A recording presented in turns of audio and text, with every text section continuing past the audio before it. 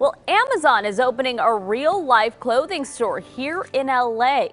Amazon Style will offer a personalized and convenient shopping experience using advanced technology. Most of the clothing will be kept in the back of the store, and only one sample of each item will be displayed on the, uh, on the sales floor.